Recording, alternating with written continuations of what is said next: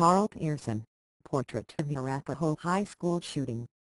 A bright student who voiced strong opinions in class and on the debate team especially about gun rights dividing his time between divorced parents. Some suggestions that he might have been bullied now and then, a run-in with a teacher who had ordered him suspended when the student threatened the man.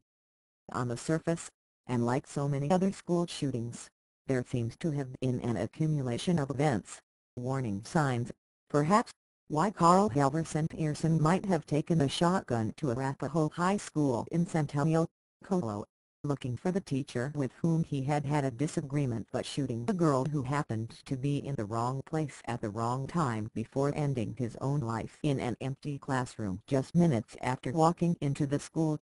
Informed speculation, but speculation nevertheless